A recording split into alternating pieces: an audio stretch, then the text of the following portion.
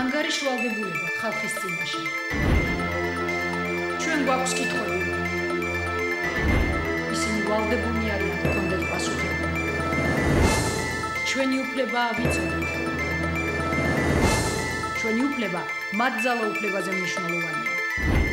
ჩვენ გვაინტერესებს სიმართლე. მათ უნდა აინტერესებდეთ ხალხის აზრი. ჩვენ ველოდებით გულახდილ პასუხებს.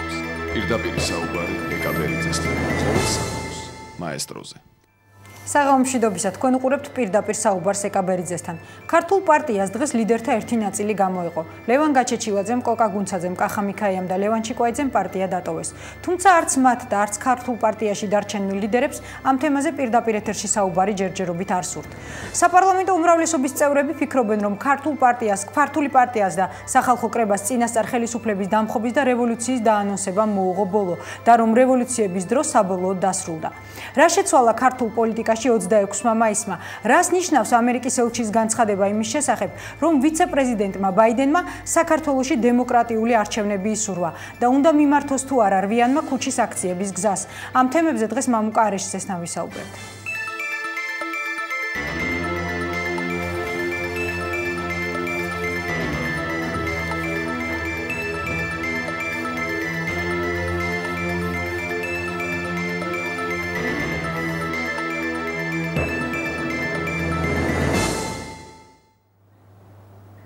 თქვენ უყურებთ პირდაპირ საუბარს. მამუკა არეშიძე ჩვენი სტუმარი ბატონო მამუკა მოგესალმებით. მოგესალმებით. დღეს ერთ-ერთი ფრთა ლიდერების გამოიყო ქართულ პარტიას. ასევე გაურკვეველია რა ვითარება სახალხო კრებაში ხელისუფლება მიიჩნევს რომ ანუ პრობლემები ამ ორ პოლიტიკურ ფრთაში წარმოიქმნა იმის გამო რომ მათ წინასწარ დაანონსეს ხელისუფლების დამხობა და ასევე დაანონსეს რევოლუციაც. მე მაინტერესებს ეს არის მიზეზი იმისა რომ დღეს ქართული პარტია დაიშალა. მოდით ამ ერთ ფრთაზე ვისაუბროთ, რადგან აქ მეტნაკლებად გარკვეული ვითარებაა. პრინციპში ეს ესე თქვა ირიბი მიზეზი შეიძლება იყოს, მაგრამ თავარი მიზეზი ეს არ არის ბუნებრივია, თავარი მიზეზი არის ის წინააღმდეგობები, რომელშიც რომელიც პარტიაში წარმოიშვა მისი ლიდერის ქმედებების ერთ-ერთი ლიდერის ქმედების გამო. ირაკლი ოქროშის ჩამოსვლა ხო, ირაკლი ოქროშის გულისხმობ პრინციპში ჩამოსვლა არ ჩამოსვლის საკითხთან დაკავშირებით და შემდგომში ის რაც მან განაცხადა აი იმ ყვადაღებულ ცნობილ პრუსულ ფილმში ეს მე მგონი იყო ერთ-ერთი ბოლოწვეთი იყო პრინციპში ზოგი პარტიის ზოგიერთი წევრისათვის. თუ ძალიან ძიმე რამ რამ ითქვა იმ ფილმში. ხა მაგის გარჩევის დრო ალბათ ახარ არის მე ამის თაობაზე არა თუმცა მაინც იქნებ თქვა ორი სიტყვით რით იყო ძიმე ნუ პრინციპში გარდა იმისა რომ რუსეთის კანონმდებლობის მიხედვით თუ სხვა ქვეყანაში მათთვის რაიმე საშიშროება არსებობთ, რუსეთს უფლება აქვს იქ სამხედრო ოპერაცია ჩაატაროს. ამაშია საქმე ეს, რაც მან იქ ილაპარაკა, ბილათ რო თქვა ზოგიერთი ზოგიერთი ნათქვამი არ შეეფერება სიმართლეს. მე როგორც ასე თქვა, ამ საქმეში შეხედული კაცი კავკასიის თემას გულისხმობ, შემიძლია გითხრათ აბსოლუტურად დარწმუნებით, რომ ზოგიერთი რამ უბრალოდ არ იყო სიმართლე. ლაკიდან გამომდინარე, ჩემთვის აი ეს ნაწილი მისი საუბრისა იყო, არა თქვა სააკაშვილის რეჟიმის წინააღმდეგ მიმართული ნათქვამი, არამედ ქვეყნის წინააღმდეგ მიმართული ნათქვამი. და ეს იყო თქვენი აზრით ბოლო წვეთი თვითონ მე სრულაშვილს ესე ვთქვა, მე მინდა რომ ვიფიქრო რომ ასე იყო, იმიტომ რომ ეს მართლა საქართველოს წინააღმდეგ მიმართული ნათქვამი იყო. მაგრამ გარდა იმისა რომ მინდა ვიფიქრო, გარდა იმისა მაქვს გარკვეული ლოგიკური ესე ვთქვა წყობა სიტუაციის უბრალოდ და შემიძლია ვთქვა რომ სხვასთან ერთად ესეც იყო ერთ-ერთი შემოადგენელი თუმცა თვითონ რღვევა პარტიის არ დაწყებულა გუში და გუშინ წინ და დაიწყო მაშინ როდესაც ვერ ვერ გაირკვა ქუჩაში გამოსული ხალხის მიმართ რა პოზიცია უნდა დაეკავებინა მთლიანად პარტიას. თქვენ გასაუბრეთ კაჩაჩილაძის მისვლა, სოზარის მისვლა იქ, სუბარის მისვლა, მაგრამ ეს ყველაფერი მისვლა იყო და არა დარჩენა. აი, წამოსულთა ფრთა ბატონო მამუკა აცხადებს, რომ ბოლო დროს მიღებულ გადაწყვეტილებებში და მათ განხორციელებაში ისინი უკვე მონაწილეობას აღარ იღებდნენ. თქვენ როგორ ფიქრობთ, აი, რომელი კონკრეტული გადაწყვეტილება შეიძლება ყოფილიყო ასეთი? თუნდაც აი 25-ის ამბავი ჩამოსვლა არ ჩამოსვლის ამბავი. იმიტომ რომ საბოლოო ჯამში პრინციპში, როდესაც ჩვენ სვამდით ამ კითხვებს, აი ზოგიერთ იმათგან, მათგან ვინც დღეს გამოვიდა პარტიიდან, პასუხი არ ქონდა, იმიტომ რომ არ უნდა დათეთქო, იმიტომ რომ არ იცოდა. გასაგებია. და აქვს თქვენი აზრით ამ პარტიას კიდევ პერსპექტივა, იმიტომ რომ დარჩენილი ნაწილი აცხადებს, რომ პარტია არ დაშლილა, უბრალოდ რა მოხდა, რამოდენიმე კაცი წავიდა აქედან. არა, ძალიან მიხარო გასკვე რა მოხდა. როდესაც ტრიუმვირატი, დუმვირატი, ან ესეთი რაღაც ვირატი არსებობს, ეს ყოველთვის არის ესე ვთქვათ სახე პარტიის და ასე ვთქვათ განსაზღვროს მის მის გზას.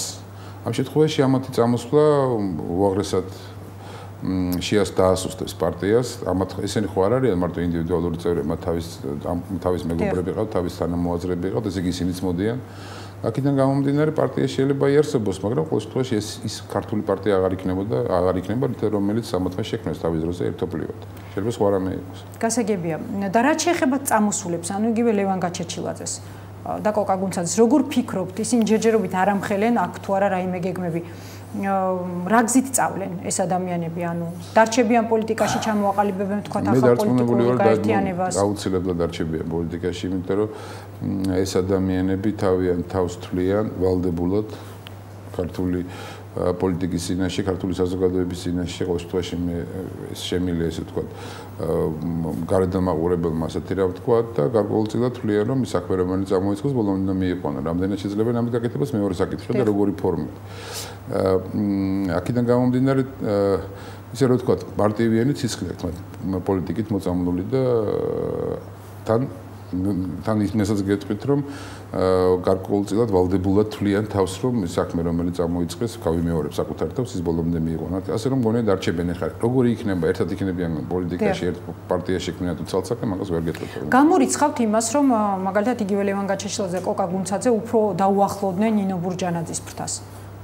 თუნდაც იმის შემდეგ რაც ისინი მივიდნენ მიტინგებზე ანუ გვერდში დაუდგნენ სახალხო არა გამორიცხვა არაფერს არ შეიძლება მე არ ვიცი ახლა ეს მოხდება თუ არა, მაგრამ გამორიცხვა საკურველი არ შეიძლება, უბრალოდ ყოველას კითხვა აქვს, უფრო უფრო ისეთი ამ შემთხვევაში საზოგადოებას უფრო აწუხებს მაგალითად თუ აწუხებს საერთოდ უფრო აწუხებს კითხვა ნინო ბურჯანაძის პოლიტიკური მომავლის თაობაზე. ამაზე აუცილებლად მოვისაუბროთ. აქედან გამომდინარე, რასაკურველია შესაძლებელია ასეთი რამეც მოხდეს. საერთოდ მოვლენების განვითარება ისეთი დინამიკა არსებობს მოვლენების განვითარების ქვეყანაში, რომ პროგნოზირება ვინ ვისთან იქნება და როგორ იქნება ცოტა რთულია. და აქედან გამომდინარე მე კატეგორიულად არ შემილია ამის თქმა მიუხედავად იმისა რომ მათ ერთმანეთს ასე ვთქვათ საზოგადოების წინაშე ხელი ჩამოართვეს და გარკვეულწილად თანამშრომლობის სრული გამოთქვის კონკრეტულ თემასთან დაკავშირებით. ბოდმონ რაც შეეხება ტელეფონი ყოფილა ჩართული და გამოხდა. ნინო ბურჯანაძეს და მასთან დაკავშირებულ გაერთიანებას რომლის სახელწოდებაც არის სახალხო კრება. როგორ ფიქრობთ, აქვს თუ არა კიდევ აი ამ გაერთიანებას ჯერ სახალხო კრებაზე ვისაუბროთ პოლიტიკური მომავალი? მე დარწმუნებული ვარ, რომ აქვს. მიუხედავად იმისა, რომ მთელი აგრესია დღეს ხელისუფლების მხრიდან, საზოგადოების დიდი ნაწილის მხრიდან მიდის ხდება ნინო ბურჯანაძე და სახალხო კრების ლიდერებზე, მიუხედავად ამისა, მაინც აქვს, იმიტომ რომ გუშინ ძალიან კარგად თქვა თორცდები რამას აყვარელიძე და მგონი კახამაც არა იმის თაობაზე რომ ყველა დაზარალდა ყველა წაგებული დარჩა ამ სიტუაციაში რაც 26-ში მოხდა.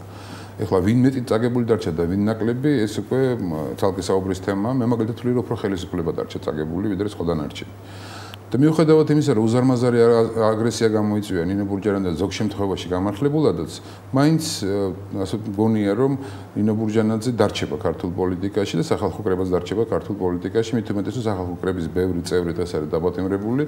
აქედან გამომდინარე ამ ამ საზოგადოებრივი გაერთიანება სხვა გზაც არ აქვს, რომ არიზრონოს თავისი წევრების ხვალინდელ დღეზე, ასე ვთქვათ, ამ ფორმით დარჩეს პოლიტიკაში. თუმცა ორივე ამ გაერთიანებას, ანუ ქართულ პარტიას და სახალხო კრებას ჰქონდათ მსგავსი გზა, ანუ ანუ რევოლუციური გზით ხელისუფლების შეცვლა. ამ გზას დარჩა კიდევ პერსპექტივა საქართველოში. აი რა შეიძლება რევოლუციას, ესე იგი ინფორმით ასეცენი აპირებდნენ, როგორც აპირებდნენ და ორივე შემთხვევაში რა ფორმით აპირებდნენ თქვენი აზრით? რა არის ცხადი თქვენთვის? აქ ამ შემთხვევაში მე არ მაქვს ლაბარაკი, შეჭრა შემოჭრაზე სადმე, მაქვს ლაბარაკი, ასე ვთქვათ, იდეოლოგიურ მიბმაზე კონკრეტულ ქვეყანასთან, ხო? რუსეთზე აქვს ლაბარაკი. ამ შემთხვევაში ორივე იყო იდენტური ამ თვალსაზრისით. თუმცა მე უნდა გითხრათ, რომ არ მინახა ხო დავა კონკრეტო ვინმეს რო გული არ მოუვიდეს შემზე, მაგრამ შემიძლია გითხრათ, რომ ზოგ შემთხვევაში მე კონიუნქტურას უფრო ხედავდი, ვიდრე თქვათ პრორუსულობას. კონjunქტურას იმისთვის რომ თავის პოლიტიკური მიზნებისთვის კონკრეტული ქვეყანა გამოიყენებინა და კონკრეტული თემა გამოიყენა. თუმცა ხელისუფლებამ ეს კონjunქტურა კარგად გამოიყენა. პირიქით გამოიყენა ხელისუფლება მათ წინააღმდეგ ძალიან კარგად, სხვა შორის ძალიან საინტერესოა ხელისუფლების მიდგომა, რომ როგორც კიდე 26 დარბევა 26 მაისის ღამის დარბევა მოხდა, მეორე დღეს რატომაც პოლიციის წინააღმდეგობაზე იყო. ლაბარაკი და არავის გახსენებია ისინი რომ დამბრმებები და ისე უკაცრავად ისინი რომ გადამტრიალებლები და ქვეყნის დამაქცევარნი იყვნენ. ნუ შემთხვევაში ამაზე ლაპარაკი საკანონმდებლო საკანონმდებლო როგორც რა სასამართლო დონეზე აღარ არის. დიახ. ისე არის კი როგორ არის. ვიდეო მასალების დონეზე სამაგერი. ვიდეო მასალების დონეზეც არის და ნუ ეხლა მე ამაზე თქვი კიდევაც იმ დღეს ეხლა ესეთი ტიპის ვიდეო მასალები ჩვენ არაერთხელ გვინახია და მოგვისმენია უამრავი და ისე კონკრეტულ ესე იგი ისე თქვა დროის კონკრეტულ მონაკვეთში ისინი არიან სამშობლოს მოღალატეები და გამყიდველები და რუსეთის აგენტები და მე როცა დამთავრდება ეს დროის ეს მონაკვეთი მე არაფერი აღარ არიან ჯოლიბერტ ჩებიან პოლიტიკაში და ზოგიერთი მათგანი შვეიცარიაში ელჩადაც კი ნიშნება ის ვინც გუშინ წინ იყო ქვეყნის მოღალატე და დამაქცევარი. ანუ გამომდინარე გამომდინარე აქედან ბატონო მამუკა ხომ არ იყო შეცდომა ამ ძალების მხრიდან რუსეთთან ასოცირება. ანუ ერთი იმიტომ რომ ხელისუფლებამ ეს მაცავე საწინააღმდეგოდ გამოიყენა და მეორე იმიტომ რომ შესაძლოა ეს იყო ერთ-ერთი მთავარი მიზეზი რის გამოც მათ ვერ მოიპოვეს ხალხის სათანადო მხარდაჭერა. რასაკვირველია იყო გარკვეული შეცდომა იმიტომ რომ მათ ვერ შეძლეს ეს თემაც თავისთვის მომგებიანად გამოიყენებინათ. მათ საშუალება მისცეს ხელისუფლებას რომ კონტრ მათ წინააღმდეგ გამოიყენებინა ეს თემა. მათ ვერ მოახერხეს რომ საზოგადოებისთვის მკაფიოდ აეხსნათ რა უნდათ, ხო? აი რუსეთთან ურთიერთობით რას ელოდებიან. იმიტომ რომ იმდენად ბუნდოვანი იყო ამ ურთიერთობის ესე ვთქვათ დღევანდელი დღე და პერსპექტივა, რომ ბუნებრივია ჩდებოდა ერთადერთი განწყობა, რომ რაცაც ხელისუფლება აღვივებდა, რომ ისინი ალბათ ფულს იღებენ იქიდან. მეორე განწყობა ესეთი იყო, რომ ალბათ გადატრიალებას აპირებენ და FSB სპეცნას ელოდებიან, ესე იგი მიტინგის პროცესში. ნუ აი ესეთი თქვენი აზრით რა უნდათ? ეს არის იცით როგორ არის რომ ანუ თუ ეს არ ეს თემა არ არის პოპულარული საქართველოს და მათ ძალიან კარგად იციან. მე არ ვილაპარაკო ხელმძღვანელებზე, იმიტომ რომ ზოგი რამ ინფორმაცია ბუნებრივია ჩვენ არ გვქონია, ვილაპარაკებ მაინც ზოგადად. აი ზოგადად თუ მიუდგებით ამ საკითხს ასეთია. ქართულ საზოგადოებაში არსებობენ ადამიანები, რომელსაც გარკვეულწილად, რომლებიც გარკვეულწილად თვლიან, რომ დასავლეთმა ვერ გაამართლა და ვერ ივარგა იმისთვის, რომ ქვეყნის აშენების პროცესი წასულიყო იმ გზით, როგორც საზოგადოების უდიდეს ნაწილს უნდა. აქედან გამომდინარე არ არის გამორიცხული, რომ რუსეთთან ურთიერთობის, ესე იგი, აღდგენა არ იქნებოდა ცუდი. ზოგს გონია რომ არ იქნებოდა ცუდი, ზოგს გონია რომ ძალიან კარგი იქნებოდა და ჯობია ისეც რუსეთს ველაპარაკოთ. ეხლა ასეთი ხალხიც არის და ასეთი ხალხიც არის. ეხლა ამ პოლიტიკური მოძრაობების თუ პარტიების თუ საზოგადოებრივი მოძრაობის ზოგიერთმა ლიდერმა გადაწყვიტა როგორც ჩანს, გადა ესე აი ამ ხალხის კეთილგანწყობა მოეპოვებინა ამ თავისი გადადგმული ნაბიჯით. რამდენად მოახერხეს ეს ყველა ეს სხვა საკითხი ხო? ის ხალხის რაოდენობა რომელიც ესწრებოდა იმ მიტინგს მოწმობს რომ მანდამაის რომელ მიტინგს ამერიკის საელჩოს არა ამერიკის საელჩოსთან არა საერთოდ მოწმობს რომ ესე იგი აი ამ თემამ განსაკუთრებით ვერ იმუშავა და პლუს იმუშავა საუკეთესოდ ხელისუფლების კონტრპროპაგანდამ რასაკვირველია იმიტომ რომ ნუ რა ვიცი 1000 უბედურებაზე ეხლა რაშია საქმე? თუ ეს ხალხი რეალურად გადატრიალებას აპირებდა ის რაც იყო ნაჩვენები ისენთვის საკმარისი არ არის. მოაზროვნე ადამიანისთვის საკმარისი არ არის. მე ვითხოვ ხელისუფლებისგან რომ ესე იგი საზოგადოებას განემარტოს ზუსტად მათი დანაშაულის ხარისხი თუ ასეთი არსებობს ხო და ბატონო მომკვა თქვენი აზრით რატომ ვერ მოხდა ამ ორი ძალის გაერთიანება? თუ არა, გაერთიანება არა. მათი სინერგია, ასე ვთქვათ, სინერგია ბოლო გადამწყვეტ მომენტში. აა, როდესაც ანუ ოქროაშულმა გადაწყვეტა რომ ის აღარ ჩამოდიოდა, მან მინიშნებით თავის განცხადებაში აქცენტი გააკეთა იმაზე, რომ ეს გადაწყვეტილება მან კი არ მიიღო, არამედ სახალხო კრების ბრალი იყო ის, რომ ის არ ჩამოვიდა. მეორე მხრივ ნინო ბურჯანაძე ასევე აკეთებდა მინიშნებას, რომ როდესაც ის კითხულობდა ანუ როგორ აპირებდა ირაკლი ოქრუაშვილი ჩამოსვლას და ხელისუფლების შეცვლას კონსტიტუციური და არაკონსტიტუციური გზით, ის ამაზე პასუხს არ იღებდა. ანუ რამდენად იყო კავშირში სახალხო კრება და ოქრუაშვილის ჩამოსვლა თქვენი აზრით ერთმანეთთან, თუმცა მოდით ამ თემაზე პირდაპირ საუბარი გავაგრძელოთ სარეკლამო ბლოკის შემდეგ გადაცემაში რეკლამის დროა.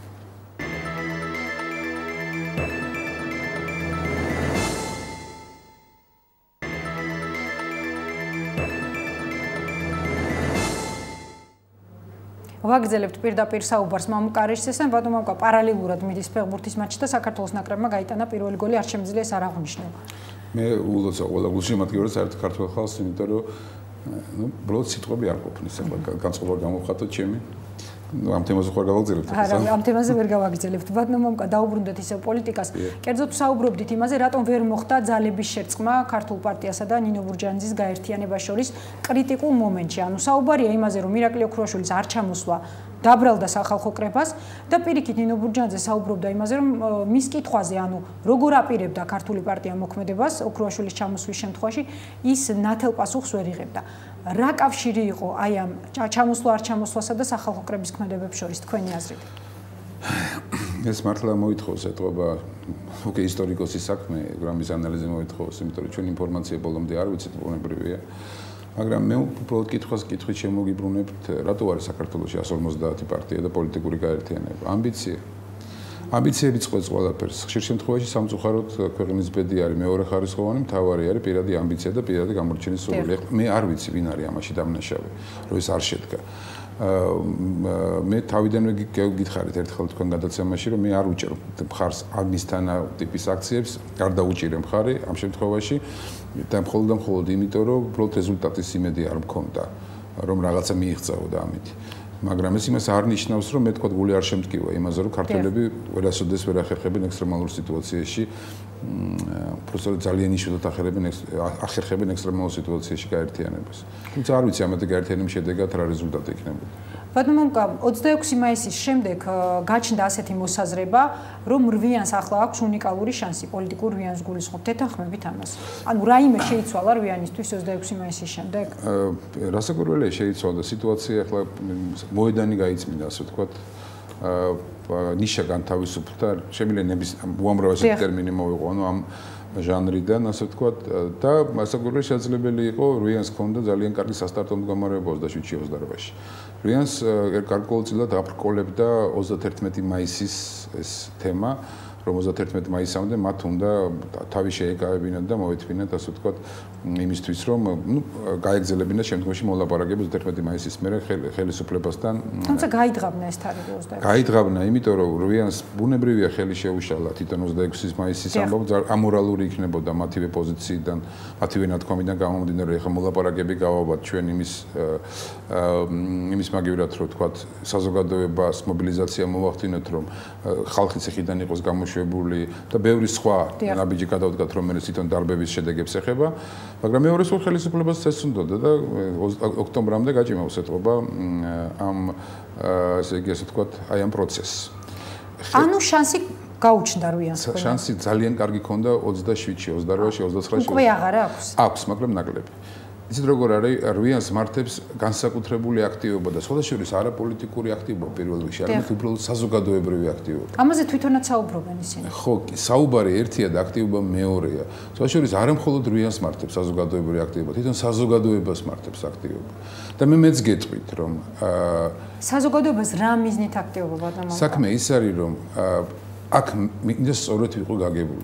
ეს საზოგადოების აქტივობას როცა ვამბობ, როცა მოუწოდებ საზოგადოების აქტივობას, არ ვამბობ, რომ არიქა ქვეყანა დავანგრიო და ახალი რევოლუცია წამოვიწყო.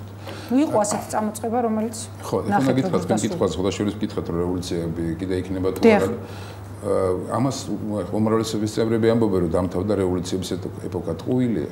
23 წელი ეს რევოლუციების ეპოქა არის საქართველოს. ტრადიცია გახდა რევოლუციის ეპოქა. რევოლუცია, მაგრამ არ ნიშნავს ეს აუცილებლად წითელი დროში და ავრორა შემოყვანას მტკვარში. აა რევოლუცია ნიშნავს განწყობას, საპროტესტო განწყობის განსაკუთრებულ ფორმას, ხო? აქედან გამომდინარე საპროტესტო განწყობის განსაკუთრებული ფორმა თვითონ საზოგადოებაში არის უძლიერესი მუხტით ახლა. მე უნდა გითხრათ, რომ ხელისუფლების ხარდაჭერთა შორისაც კი არის. მე თვითონ მოვისმინე, ხო საზოგადოება ხო საუბედურად პოლიტიზირებულია და გაყოფილია ამისტება და იმისტება. აი ეს ამისტები რო არიან ახლა ხელისუფლების მომხრეები, თქო, იმათ შორისაც კი არის საუბრები რომ ამოვიდა ეს ყველაფერი ყელში.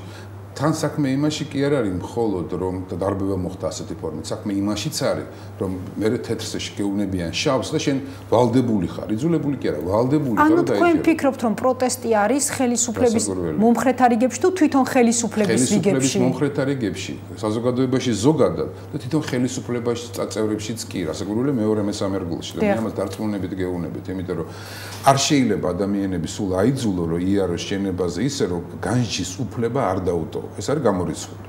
ეხლა რა შეიძლება საზოგადოების აქტივობა? ანუ თქვენ ფიქრობთ მოპატიეთ უბრალოდ დავაკონკრეტებ, რომ ხელისუფლების მეორე, მესამე თუ მეოთხე შერენგა ამ მდგომარეობაშია? ნუ ეხლა ის ნაწილი, რომელთანაც მე მქონდა ურთიერთობა, ამ განწყობით არის. ის არ ნიშნავს, რომ ამ ზურგი აქციის ხელისუფლებას არავითარ შემთხვევაში. ეს არის წმინდა სამოქალაქო პოზიცია, წმინდა მოქალაქეობრივი პოზიცია და ამას ძალიან დიდი მნიშვნელობა აქვს. და მე უნდა გითხრათ ერთი რამ. სხვადასხვა ხშირ შემთხვევაში, აი, კარგი მაგალითია. ჩერქეზების გენოციდის აღიარება სერიოზული დისკომფორტი მოუტანა რუსეთს. და ვისი ბრალია პირველ რიგში რუსეთის ხელისუფლების, იმიტომ რომ ეს თემაც წაუყურეს ამ თემას და ხაერში გამოკიდებული დატოვეს. და საბოლოო ჯამში საქართველოს მაგერა და ეხლა აქ რუსეთის პრობლემები სერიოზული. თუ საზოგადოება თუნდაც ხელისუფლებასთან ერთად ამ პრობლემას, რაც ახლა არის, ამ დისკომფორტს, რაც ახლა არის, არ გადაწყოს და არ მოაგვარებს, აი 26 მაისის შემდგომს. და როგორ უნდა მოაგვაროს? არ ვიცი, იცი როგორ არის? როგორც თეთრ და შავზე ლაპარაკობ, თეთრ ხელისუფლებების შავზე თეთრიო, აი ესე უნდა გააკეთო საპირისპირო დღეს. მაგრამ ხარაკის ხომ არ ჩაიტარებს ხელისუფლება? ხარაკის ხომ არ ჩაიტარებს? ეს რა შეასაქმე ჩაუტარებია და ჩვენ ქონდა ამის მაგალითები. როდის? ჩაუტარებია. თუნდაც აგვისტოს ომის შემთხვევაში. მართალი ისეთი ფორმით არის როგორც ჩვენ წარმოგვიდგენია იმიტომ რომ ესე ასე თქვა თავარი გმირები უნდა დაისაჯონ ამ ოპერაციის მაგრამ მაშინ უნდა გავიცდებათ რომ პერეტრობაციების მოხდა და ზოგიერთი ადამიანიც ესე თქვა ბედით სასწორზე იყო შემოდებული. ასაკურელი ეს ის დონე არ არის ის ფორმა რაც ომის შედეგებიდან გამომდინარე შეიძლება ყოფილიყო მაგრამ მაინც იყო რაღაც ამ დაგვარი თუმცა მას არ აღიარებდნენ. დღეს გავანებოთ მაშინ ხელისუფლებას თავით პირდაპირ. დღეს საზოგადოების ეს არის სირცხული საზოგადოებისა რომ ამაზე გაჩუმდნენ და წაუყურე მე არ ვიძახი ქუჩაში გამოყვანისკენ არ არ მოუხმო პარავის გამოსვლისაკენ. მე მინდა გავახს გავიხსენო უბრალოდ 9 აპრილი. ხა ვიღაცა ამის გამო კანათემას გადამცემს რა კავშირშია 9 აპრილთან. მე ამ შემთხვევაში სამოქალაქო აქტივობაზე ვლაპარაკობ 10-ში დილით ლალი ჯავახიშვილის მეტაურობით უკვე შეიკრება კინოს სახში მაშინდელი ქართული საზოგადოება და მაშინ იყო კომენდანტის საათი და რუსები ოკუპანტები რაც გინდა ეს უძახი აქ იყვნენ და განძრევის საშუალებას არ გვაძლევდნენ. მაშინ არ შეშინდე. და სხვა შორის ძალიან ეფექტურად იმუშავა ელდარ შენგელაიაშვილმა ну დანარჩენება ვინც იქ ვიყავი და რა რეზულტატი დაიდო მოგხსენება თელი სოფლიო შეწრიალდა. საჭიროა ესეთი ტიპის აქტივობა იმისთვის რომ ხალხმა გაიგოს სიმართლე ნამდვილად რა მოხდა. ხელისუფლებას საჭირდება ეს სიმართლე. ხელისუფლების ჭირდება თქვენი აზრით? უნდა ჭირდებოდეს. უნდა ჭირდებოდეს იმიტომ რომ ამდენი ხანი სხვანაირად ეს ხელისუფლება ვერ გაძლევს ესე იგი არ შეიძლება ტყუილზე ტყუილი აგროვო. არ შეიძლება თეთრი ძახო შავი. ეხლა ვიღაცა მეტყვის რომ სახელმწიფო გადატრიალების მცდელობა იყო და საქართველოს გადავარჩინე გავიგეთ გადაარჩინეთ საქართველოს. მაშინ დაიჭირეთ და უბრალოდ გაასამართლეთ ის ხალხი, ვინც გადატრიალებას აპირებდა და ვინც საშინელება ჩაიდინა და ხალხი სიკოდილამდე მიიყვანა კვინტრაძე თუ იყო მაღაზიის სახურავზე ეს სიტუაცია შეექმნა ესეთ რომ მაღაზიის სახურავზე აღმოჩნდა გასაგროლია მე ამჯერა რომ მაღაზიის სახურავზე იყო მაგრამ აი ვინც არასრულწლოვანს ცემდა ქუჩაში იმისი საქმე გამოიძიე და გაარკვიეთ. რაღაცა გააკეთეთ, რომ გამოჩნდეს, რომ მართლა ხარ დაინტერესებული შენი მოქალაქეების თუმცა ჯიუტადო არ ყოფ შინაგან საქმეთა სამინისტრო, იმასაც კი რომ ძალის გადაცდომა იყო. ნუ ეხლა იცი როგორ არის, მაგას ვამბობ მეთოდზე გვეუბნებიან შავია. ეხლა ბაასი დღეს ლამის მუხლებზე დაეცა და ამბობს, რომ ისისი არ მითქოს, უბრალოდ სხვა რამე არა, ის ამბობს, რომ არ იყო მწვანე შუქისანთება ის რაც მე ვთქვი და ასევე სხვა შორის ჯიუტად ამბობს, რომ ხელისუფლებამ გააკეთა კარგი დღევანდელ განცხადებაში ამბობს, როდესაც მომიტინგეებს შესთავაზა სხვა ადგილი მიტინგის ჩასატარებლად. მაგრამ აქ მეორე კითხვა ჩდება, ბატონო, ანუ თუ ისინი იყვნენ დამამხობლები, გადამტრიალებლები, თინახი და შემო თქვა ჩვენს ეთერში სწორედ იმ დღეს, რა მნიშვნელობა აქვს მაშინ სად ჩატარდებოდა მათი მიტინგი? უკეთესია გადატრიალები. საერთოდ შევეგუოთ ამას, რომ ვაკის პარკიდან უკეთესია გადატრიალები. უფრო პოზიტიური. აი თუნდაც ეს ხო ესეც ხო მტკნარი სიცრუეა. თუ ადამიანტრიალებელები იყვნენ სადუშში, სადაგზავნე, იქ მაინც დაცულია, ხო ეს მოედანი ბოლოს ამდენის პესნაზელი ეგ და სადაგზავნე იქნებ მართლა გადაატრიალონ. რაღაც უბედურება მოახდინო ნავაგის პარკში. ამიტომ ვამბობ რომ დღეს ისეთი მდგომარეობა სწორედ მინდა ვიყო გაგებული. ხოლოდ ხოლოდ საზოგადოების პრობლემა არ არის, ეს არის ხელისუფლების პრობლემა. რომ მოვლენები წაიყვანოს ისეთ ესე თქვა კალაპოჩი მოაქციოს, რომ უფრო ვარეს უბედურება არ დატრიალდეს ქვეყანაში მას მერე რაც ხალხი ზუსტად გაიგებს, რაც მოხდა. ჯერ ჭორების დონეზეა და ეს აგიჟებთ ხალხს. და როდესაც ნელ-ნელა სიტუაცია გამოირკვევა კიდე უფრო მეტად, აი როგორც 9 აპრილს ხდებოდა. ну, მაშინ უკვე მე ძალიან რთული იქნება ამ პროცესების მართვა. ვერავინ ვერ გაიგებს, აი თუ გამოირკვა რამოდენიმე საშინელება, რაც მოხდა პოლიციის სამართლობაში, ან და რუსთავის კინოთეატრში, ის თუ დამტკიცდა, ну ეს იქნება კატასტროფა ერის და ეს თუ გახმაურდა მით უმეტეს და თუ ხელისუფლება ამ შემთხვევაში სტაგნაციაში იქნება და ჯიუტად ამტკიცა რომ არაფერი არ მომხდარო ну ეს იქნება ძალიან მძიმე დარტყმა ქვეყნის პრესტიჟისათვის გაიხსენეთ ის რაც ხდებოდა 9 აპრილის შემდეგ ანუ ის შეკრებები იგივე კინოსახლში და ასე შემდეგ რატომ ეხლა არ მოყვა რაც მოხდა 26 მაისს იმას აი ასეთი დონის საზოგადოებრივი პროტესტი ანუ იყო მხოლოდ ცალკეული მდუმარი აქციები ეს საკმარისია იცით რა შეასაქმე რომ საზოგადოება დავე დაეჩვია ჩვენი რომ სხვის მაგივრად ესე იგი სოსმაგირად მithმათმაგირად სხვები წყვეტენ, ანუ პოლიტიკური ლიდერები.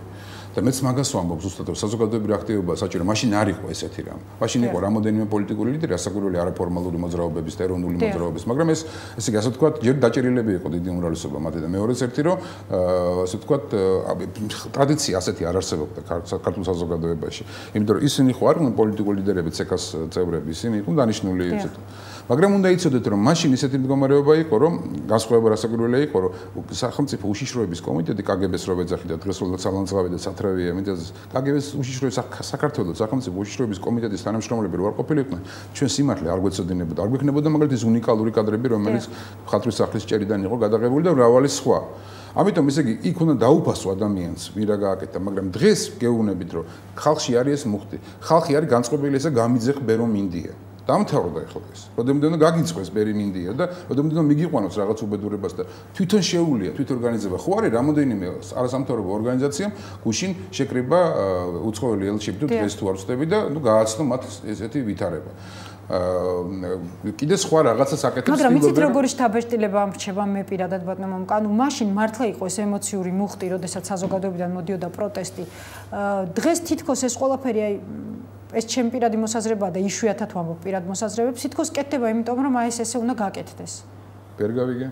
ანუ, იმიტომ რომ აი უნდა იყოს პროტესტი, ანუ თითქოს ეს არ არის როგორ გითხრათ, ემოციით დამუხტული და ნამდვილი პროტესტი. არა, მე ვერ გეტყვი, მე დაკეთახობთ, იმიტომ რომ ის აქ. ანუ დღემდე მაგალითად მე ვერ გავარკვიე ვერც ერთი არასამთავრობოსგან ზუსტად იმ ბავშვის სახელი და გვარი, რომელსაც ურტყავდნენ და ვერც მისი ბედი. ხო, ეხლა რაში ეცი გადამალვის პროცესებიც არსებობს. ახლა მე ვიცი რაღაც მომენტი ახლა კვინტრანს ოჯახის საარიყოს რომ მივიდნენ და რო უთხრეს რომ მეორე შვილი ხო. ხო, იცი თქვენ ეს ისტორია, არ მინდა უფრო გავამახვილო ამაზე ყურადღება, მაგრამ ყოველ შემთხვევაში მუქარაც იყო და ასე შემდეგ ეს მუქარ ხოშურის მაშინ მუქარები არ ყოფილა. ეს უნდა გაგასცემოთ ეს რუსების. ხო, აი ეს ხომ არ არის, ანუ დაშინების ბრალი ხომ არ არის ის რომ აი ეს პროტესტი ესე მძაფრად არ მინდება. თლიანად ერთ შემოგარგო ეს მანიშნებელი იყო თუნდაც 10000 კაცი რო გამოვიდა მდუმარე აქციაზე მეორე მესამე დღეს ხო იყო ასე რა. თვალშურის მე ვიგახდეთ იმ აქციაზე და მინდა გითხრათ რომ ძალიან უარყოფითად იყო მიღებული ზოგიერთი პოლიტიკური ლიდერის გამოჩენა. არ მისცეს საშუალება რომ ისინი თქვა მათ ხალხისთვის მიემართა და ასე შემდეგ. იმდენად აგრესიული იყო ხალხი საერთოდ სიტუაციის მიმართ, ხელისუფლების მიმართ, ოპოზიციის მიმართ და საერთოდ მდგომარეობის მიმართ. ის იმ ხალხისთვის არავის არ მოუთხოვე გინათ რომ კუჩაში გამოდიო. ის ხალხი გამოვიდა თავისი სამოქალაქო პროტესტის გამოსაყენად. და ხალხი არის ეს პროტესტი და ნუ იფიქრებს ნუ რა ვინო ამ ხალხს შეეშინდა. ეს გამორიცხული. ეხლა დღეს ერთი მეუნებოდა ჩემი ახლობელი რომ ბავშვებიდან ვერ ვიტან უსამართლოს პასო და ვერ ვიტან მტირალ მამაკაც რომელიც იჩაგრებაო. ეს არის ძალიან ნიშანდობლივ ფაქტი. ქართულის განწყობაში შენ უნდა იცნობდე შენ არს რომ მამაკაცები იქ მდგომარეობამდე არ მიიყვნენ რომ მათ იტირონ ის გამო რომ ძალა არ აქვს. იმის გამო რომ ხო სუსურობისაგან იტირონ. იმიტომ რომ იმ მამაკაცებიდან შეიძლება 7-მა 8-ამ გაპატიოს რაც ეჭვმეპარება ან დაივიწყო შიშის გამო, მაგრამ ორი არასოდეს არ გაპატიებს. და აუცილებლად სამაგიეროს გადახდაზე იზრუნებს. და კიდევ ერთი ბატონო მომკა ჩვენი საუბრის ბოლოს ძალიან მოკლედ დღეს რუიანში არის გარკვეული აზრთა სხვადასხვაობა გუბასანიკიძე მითხრა რადიო ეთერში. იმასთან დაკავშირებით უნდა გამოიყენონ თუ არ უნდა გამოიყენონ ქუჩის აქციები. ანუ ამას ყავს თავისი მომხრე და მოწინააღმდეგე ძალები. თქვენ როგორ ფიქრობთ, იქნება ეს ეფექტური მეთოდი რუიანის პარტიებისთვის? ეხლა მე არ მინდა სატელევიზიო ეკრანიდან მოწოდება გამომივიდეს, მაგრამ მეთოდი მეთოდი არსებობს. ეხლა ჯერთი მოდი გადავწყვიტოთ, რუიანმა უნდა გადაწყვიტოს მოლაპარაკების პროცესში ებმება თუ არ ებმება. აგზელებს. შუჩი გააკეთებენ ისინი განსხვავებით. ხო, და აი იქ უნდა გადაწყვეტეს ეს ამბავი. მე არ მინდა ხელი შეუშალო რუიანს, იმიტომ რომ გარკვეულწილად ესე იგი ისინი არიან ეხლა აი რაღაც რუბიკონის გადალახვის პროცესში. ეს ერთი. მეორე ის რომ ფორმას არ აქვს მნიშვნელობა. რა ფორმით შეეცდები შენ რომ შენი სიმართლე დაამტკიცო, თუ ეს არ არის მართლა შეერაღებული და ანტიკონსტიტუციური, ჩემს აბსოლუტურად მნიშვნელობა არ აქვს, მაგრამ მე ვხედავ რომ ეს ისეთი ვითარებაა, როდესაც სამიტინგო სამიტინგო ესე იგი თქვა ფორმატი არ არის მთავარი. მთავარი არის ძალიან მნიშვნელოვანი და ეფექტურია საერთაშორისო ორგანიზაციების აქტიურად ჩართვა. ეხლა მე ვიცი ჩვენი მსვენელი თქოს რომ რა მოგვიტანეს ამ საერთაშორისო ორგან ხეს შეძახილით გახმო. საჭიროა ყველა მიცოდეს რა მოხდა იმ ღამეს აქ და იმის მერე მივიღოთ გადაწყვეტილება. მაგრამ ერთი რამეც არის. ნუ ვიქნებით იმედზე, ცხვის იმედზე. ნუ მე აი ნუ ცერ როგორ მე ხშირად მომისმენია პოლიტიკური პოლიტიკურ წრეებში საუბარი საზოგადოებაში, რომ ნახე რა უთქვია იმას. აი დაახლოებით ისე ნახე იაპონიამ რა თქვა, რაშობა იაპონია. აი დაახლოებით ესეთ დონეზეა ლაბარაკი. ესე იგი როგორ არის რომ შენ ახდენ შენი უფლებების და შენი საშუალებების დელეგირებას ყოველთვის სხვაზე. შენ შენ ბასმა თქვა რომ თურმე ბაიდენს უთქვამს, როდესაც საქართველოს პრეზიდენტი შეხვდა აი ამასთან დაკავშირებით სწორედ რასაც თქვენ ამბობთ, რომ ბაიდენმა ისურვა რომ მომავალ წელს დანიშნული საპარლამენტო არჩევნები ჩატარდეს დემოკრატიულად. რას ლაპარაკ? დიახ. ну რადგან ბაიდენმა ისურვა, ისურვა მაშინ ანუ ნიშნავს ეს ცალსახად საარჩევნო პროცესის მხარეს. არა, ეს როგორ არის, იცით რომ ეხლა ამაზე ვაგებთ გარკვეულ იმედებს. კლინტონმაც ბრძანა, ბაიდენმაც თქვა, ну აღარ დარჩენილა ამერიკაში არავინ, ვისაც ეს არ ეთქვა და ევროკავშირში, ნუ ამ ხო ამას იმეორებ და მაგრამ ეს არ არის მთავარი თქვენი აზრი. რასაკვირველი არ არის მთავარი, იმიტომ რომ ჩვენ უნდა ვიყოთ მობილიზებული და ორიენტირებული. ჩვენ ზუსტად იმაზე, თუნდაც არჩევნები იყოს, თუნდაც პროტესტის გამოთქმა იყოს, თუნდაც სხვა ასეთი ტიპის სამოქალაქო თუ პოლიტიკური პროცესი აუცილებლად უნდა იყოს ამბიციების გარეშე. არ შეიძლება ყველა იყოს საქართველოსი პრეზიდენტი, ყველა იყოს საქართველოს ნაკრების მწვრთნელი ფეხბურთში, ყველა იყოს პრეზიდენტი, ყველას ყველაფერი ესმოდეს. არ ხდება ასე. დიდი მადლობა. მე მაგალითად არ მინდა რომ ვიყო პრეზიდენტი. არც მე, მადლობთ. და ორნი ვარ. მამუკარეშძე იყო ჩვენი სტუმარი, დღეს ამიდგემ მშვიდობებით ორ შაბათს 10 საათზე ისევ შევხვდებით.